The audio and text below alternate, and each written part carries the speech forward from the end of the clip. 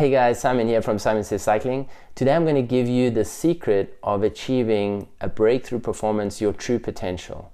And here's what I've discovered the real secret is not in looking always outside of yourself to achieving that performance. In other words, not looking to get a better bike so you go faster, not looking to get some better sports drink or supplement, magic supplement to make you better or stronger or faster those things, in my experience, when you're always seeking outside of yourself to achieving a breakthrough, you're diminishing your power. So the real secret is it's no secret, it's inside.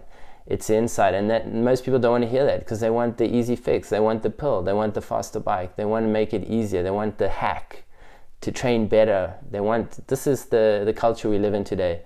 But the real secret is it's inside. It's how much old school hard work you're willing to put out it's how much mental focus and determination you're willing to bring to your training. It's how much mental preparation you're willing to do leading up to an event. It's how much you're willing to to work on those old school things that are maybe not as in mode um, today.